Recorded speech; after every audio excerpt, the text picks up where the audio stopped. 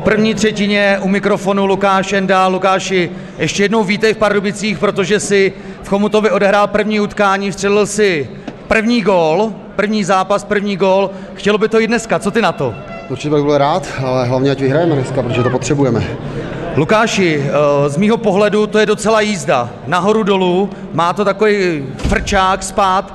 Myslíš si, že Plzeň hraje natolik do těla, že vás do těch šancí až tolik nedostává? Byť jsme gol dali, ale bohužel nebyl uznaný.